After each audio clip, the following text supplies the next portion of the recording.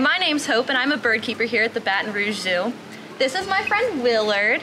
Willard is a sulfur-crested cockatoo, as you can tell by the yellow feather on the top of his head. Uh, Willard and I actually have something in common. We are both 22 years old, except I am a little bit older than him. Hi, Willard.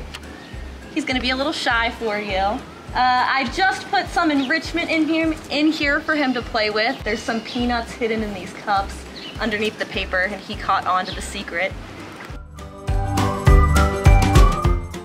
So sulfur-crested cockatoos are normally from Australia, New Guinea, New Zealand, Indonesia, different parts of those countries, and they usually stay in flocks of 12 to hundreds of birds.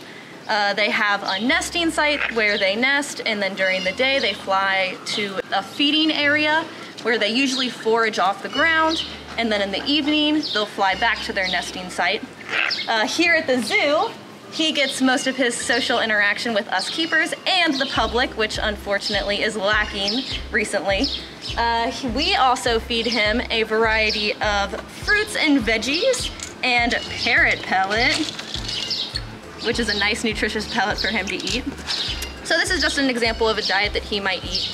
In the wild, these birds are searching for fruits and vegetables on their own. They're looking for grains and seeds and different nuts, and possibly even insects, but most of them are herbivorous.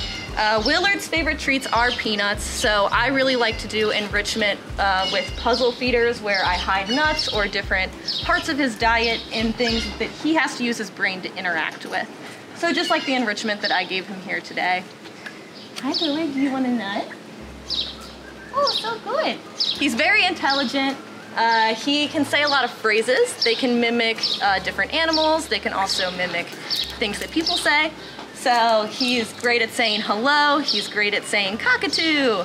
Uh, he will say pretty bird. And guests have caught on to this and they know Willard by name and they like to come to the zoo and have a conversation with him.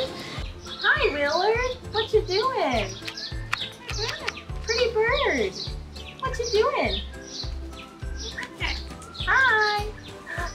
Please spin. Willard, spin. Good job. That's a good bird.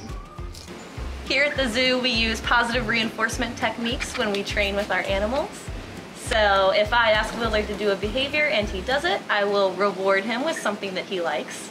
Uh, if he doesn't want to participate in training or uh, just doesn't feel like doing the behavior that I ask him, he doesn't have to, and he can ignore me, and that's totally fine. I'll never force him to do anything he doesn't want to do. Good job! That was like a half spin. I don't have any more peanuts.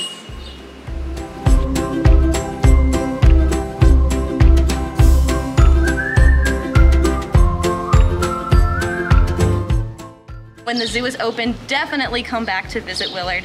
He is in Birds of the World across from the administration building.